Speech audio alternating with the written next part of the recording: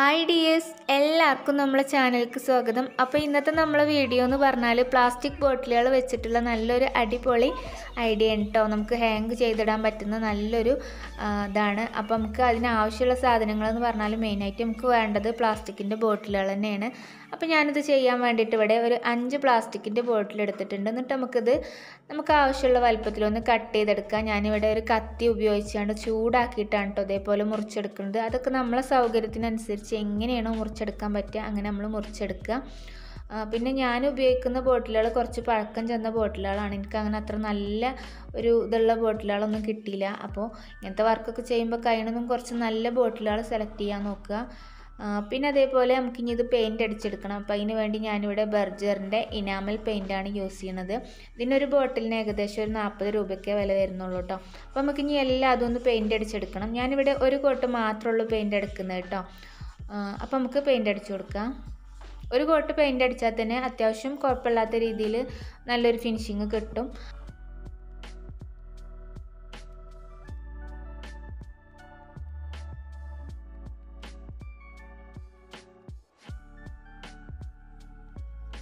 അപ്പോൾ ഇതാ ഞാനിവിടെ എല്ലാതും പെയിന്റ് അടിച്ച് വെച്ചിട്ടുണ്ട്. ഇനി ഇത് നല്ലോണം ഒന്ന് ഉണക്കിയെടുക്കണം. നന്നായി ഉണങ്ങിയതിന് ശേഷം നമുക്ക് ഇതിന്റെ രണ്ട് സൈഡിലും ഇതേപോലെ ചെറിയ രണ്ട് ഹോൾസ് ഇട്ട് കൊടുക്കണം. അഞ്ചെണ്ണത്തിന്റെയും രണ്ട് സൈഡിലും ഇതേപോലെ ഹോൾസ് ഇട്ട് കൊടുക്കണം. ഇത് നമുക്ക് ഹാങ് ചെയ്തിടുമ്പോൾ കയറിടാൻ വേണ്ടിയിട്ടാണ് ഇങ്ങനെ ഹോൾസ് ഇട്ട് കൊടുക്കുന്നത് കേട്ടോ ഇനി നമുക്ക് അടുത്ത സ്റ്റെപ്പ് എന്ന് പറഞ്ഞാൽ ഓപ്ഷനിലാണ് വേണമെന്നുണ്ടെങ്കിൽ ചെയ്താൽ മതി. അപ്പോൾ ഞാനിവിടെ റെഡ് കളർ ഉപയോഗിച്ചിട്ട് ഇതുമ്മേ എല്ലാത്തുമ്മയും ഓരോ ഡോട്ട് ഇട്ട് കൊടുക്കണം എന്ന് വിചാരിച്ചിട്ടുണ്ട്. അപ്പോൾ ഞാൻ സാധാരണ ഡോട്ട് ഇടാൻ വേണ്ടി ബഡ്സ് ആണ് ഉപയോഗിക്കൽ നമ്മൾ ചെവിയൊക്കെ തോണ്ടണ ഇയർ ബഡ്സ് അപ്പോൾ ഇന്ന് വീഡിയോ എടുത്ത സമയത്ത് നോക്കുമ്പോൾ ഇയർ ഇയർ ബഡ്സ് കഴിഞ്ഞിരിക്കണം കേട്ടോ. അപ്പോൾ അതുകൊണ്ട് തന്നെ ഞാൻ തൽക്കാലത്തിന് ഒരു ഈർക്കളിമ ചെറിയൊരു തുണിക്കഷ്ണം വെച്ചിട്ടാണ് ഇതേപോലെ ഡോട്ട് ഇട്ട് കൊടുത്തത്. അതുകൊണ്ട് തന്നെ അത്യാവശ്യം നല്ലോണം കുളയിക്കണ്. അപ്പോൾ അതെല്ലാവരും ക്ഷമിക്കുക. അപ്പോൾ നിങ്ങൾ ചെയ്യണ സമയത്ത് ആരെങ്കിലുമൊക്കെ ഇതേപോലെ ചെയ്ത് നോക്കണുണ്ടെന്നുണ്ടെങ്കിൽ നമ്മൾ ഇയർബഡ്സ് ഉപയോഗിച്ചാണ്ട് ഡോട്ട് ഇട്ട് കൊടുക്കുകയാണെന്നുണ്ടെങ്കിൽ നല്ല ക്ലിയർ ആയിട്ട് കിട്ടും കേട്ടോ നമ്മളിതിന്റെ മുമ്പ് ഒരു പ്ലാസ്റ്റിക് ബോട്ടിലിന്റെ ഒരു വർക്ക് ചെയ്തിരുന്നില്ലേ? അപ്പോൾ അതിൽ ഞാൻ കാണിച്ചിരുന്നു ഇയർബഡ്സ് വെച്ചിട്ട് ഡോട്ട് ഇട്ട് കൊടുക്കുന്നത് നല്ല ക്ലിയറായി നല്ല പാകത്തെ വലുപ്പത്തിൽ കിട്ടും. അപ്പോൾ അങ്ങനെ ഞാൻ ഏതാണ്ട് അഡ്ജസ്റ്റ് ചെയ്താണ്ട് എല്ലാത്തിലും ഡോട്ടുകൾ ഇട്ട് കൊടുത്തിട്ടുണ്ട്. ഇനി ഇത് നല്ലോണം ഉണങ്ങിയതിന് ശേഷം നമുക്ക് ബാക്കിയുള്ള കാര്യങ്ങളൊക്കെ ചെയ്യാം. അങ്ങനെ എല്ലാതും നല്ലോണം ഉണങ്ങിയിട്ടുണ്ട്. അപ്പോൾ അതിന് ശേഷം ഞാൻ ഇതിൽ എല്ലാത്തിലും പോട്ടി മിക്സ് ആക്കിയിട്ടുണ്ട്. ഇനി നമുക്കിതിൽ ചെടി നട്ടു കൊടുക്കണം. പിന്നെ നമുക്ക് ആവശ്യമുള്ളത് ചാക്കിന്റെ നൂലാണ്. ഞങ്ങളവിടെയൊക്കെ ഇതിന് പറയാം ചാക്കുനൂൽ എന്നാണ് കേട്ടോ ഇനിയിപ്പോൾ ഇതിന് വേറെ എന്തെങ്കിലും പേരുണ്ടോ ഇല്ലേന്ന് എനിക്കറിയില്ല. ഉണ്ടെങ്കിൽ കമന്റ് ചെയ്യുക പിന്നെ ചാക്കുനൂൽ കുറച്ച് വണ്ണുള്ള ചാക്കുനൂലാണ് സാധാരണ നമ്മൾ ചെറിയ ചാക്കുനൂലല്ല കുറച്ചും കൂടെയൊക്കെ വണ്ണുള്ള ടൈപ്പാണ്.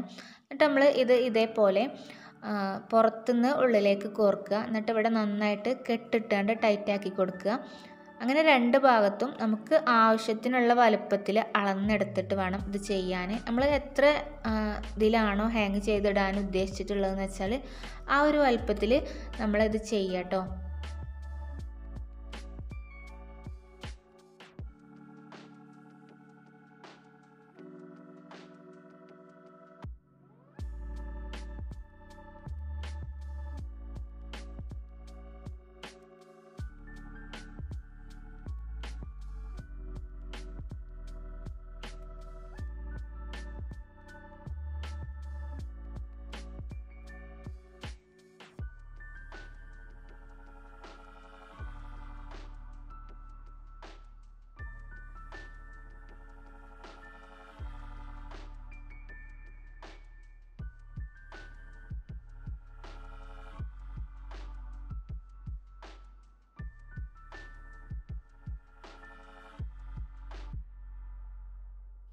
പിന്നെ ഇന്ന് ഞാൻ പോട്ട് മിക്സ് റെഡിയാക്കാൻ വേണ്ടിയിട്ട് ഉപയോഗിച്ചിട്ടുള്ള വളമാന്ന് പറഞ്ഞാൽ സാധാരണ നമ്മൾ കോഴി ഫാമിൽ നിന്ന് കൊയ്വാക്കണ ചകിരിച്ചോറില്ലേ അതാണ് കേട്ടോ അപ്പോൾ അതുകൊണ്ട് തന്നെ അതിൽ അത്യാവശ്യം നല്ലോണം കോട്ടർമന്റെ ശല്യമുണ്ട് വേനൽക്കാലമൊക്കെ ആണെന്നുണ്ടെങ്കിൽ നമുക്ക് വെയിലത്ത് വെച്ചാണ്ട് അത് ഒഴിവാക്കാം.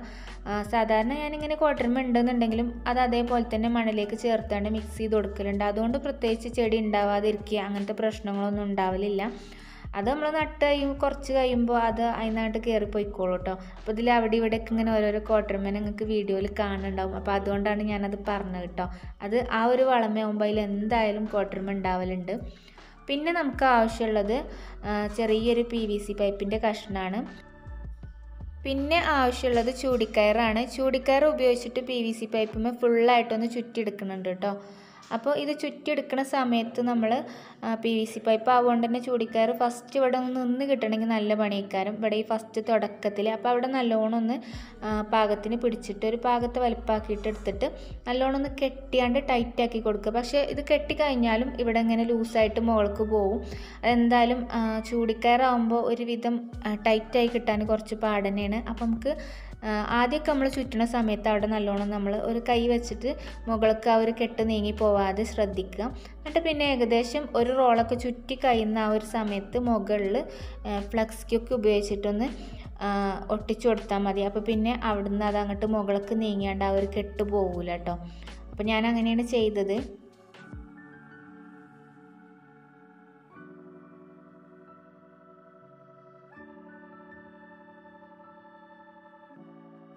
അപ്പം ഞാൻ ആദ്യം ചുറ്റാനെടുത്ത ചൂടിക്കയർ ഒരു പകുതിയൊക്കെ ആയപ്പോൾ കഴിഞ്ഞിട്ടുണ്ട്. അപ്പം ഇനി ഇതിവിടെ വെച്ചിട്ട് നല്ലോണം ഒന്ന് ഒട്ടിച്ചു കൊടുക്കണം.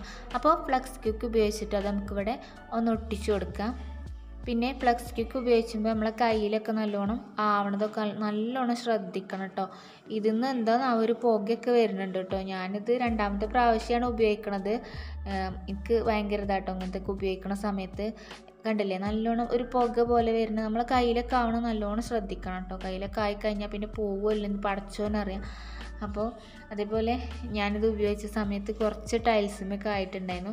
പക്ഷേ ടൈൽസിമൊന്നും അങ്ങനെ കറായിട്ടൊന്നും നിൽക്കണമൊന്നുമില്ല കേട്ടോ അതൊക്കെ അപ്പം തന്നെയാണ് പോവുകയും ചെയ്തു തുടച്ചപ്പോൾ പിന്നെ അതേപോലെ നമ്മൾ ചുറ്റാൻ നമ്മൾ തുടങ്ങിയ ഒരു ഭാഗം മുകളിൽ ഇതേപോലെ നല്ലോണം ആക്കി കൊടുക്കുക. അപ്പോൾ പിന്നെ ആ ഒരു കയർ അവിടെ അങ്ങോട്ട് ടൈറ്റായി നിന്നോളും. പിന്നെ അത് മുകൾക്ക് പോരുന്ന ഒരു പ്രശ്നം ഉണ്ടാവില്ല കേട്ടോ നല്ലോണം ആക്കി കൊടുത്താൽ മതി.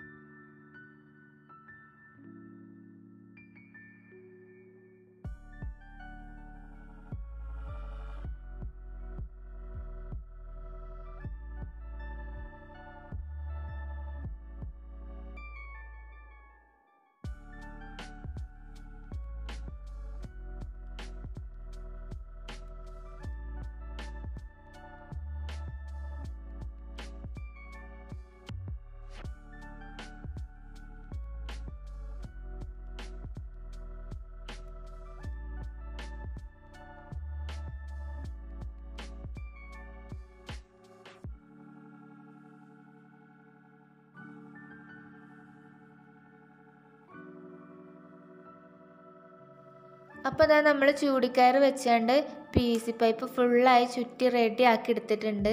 ഇനി ഇത് നമുക്ക് എവിടെയാണോ ഹാങ് ചെയ്തിടേണ്ടതെന്ന് വെച്ചാൽ അവിടെ ഹാങ് ചെയ്ത് വെക്കുക. എന്നിട്ട് നമുക്ക് ബോട്ടിൽസ് ഓരോന്നും ഇതിൽ പാകത്തെ വലുപ്പത്തിലാക്കിയിട്ട് നന്നായി കെട്ടിക്കൊടുക്കുക.